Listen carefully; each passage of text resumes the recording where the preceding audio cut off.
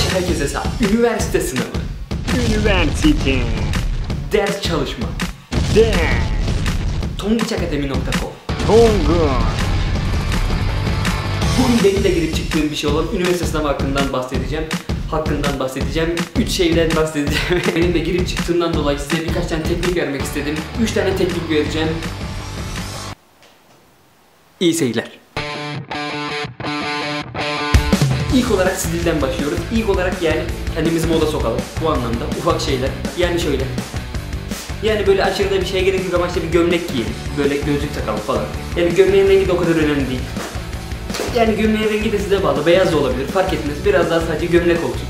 Gözlüklerimizi falan takalım bu tarzı. Kıyafetleri de hallettikten sonra ikinci yapmanız gereken ekipmanlar ile yani çalışmanıza yardımcı olacak şeyler. Peki bu ekipmanlar genel olarak neler? Ekipmanlar.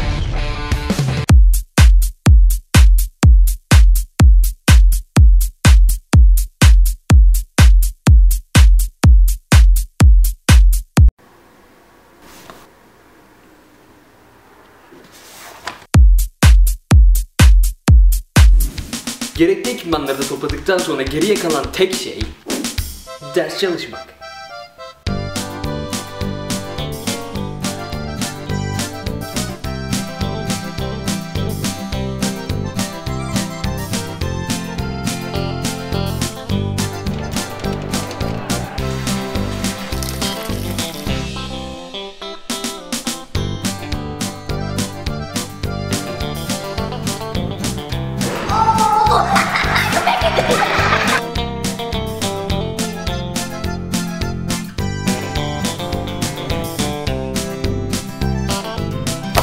Yeterince ders çalıştığınıza göre artık tek yapmanız gereken sınav sonucunuzu beklemek.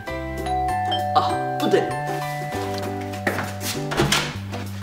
Merhabalar merhabalar. Ah merhabalar. Mehmet Aydemir. Ah evet.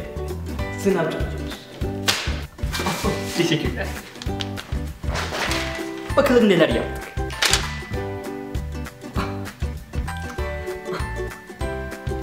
Piyanistlik ve sahne sanatları yüksek meslek okulunu kazandım. Lise birden beri hedefimdi. Çalışarak üstüne giderek bunu başardım bu tekniklerle. Umarım sizler de hedeflerinize ulaşırsınız bu teknikleri kullanarak. Bir sonraki videoya kadar Allah'a emanet.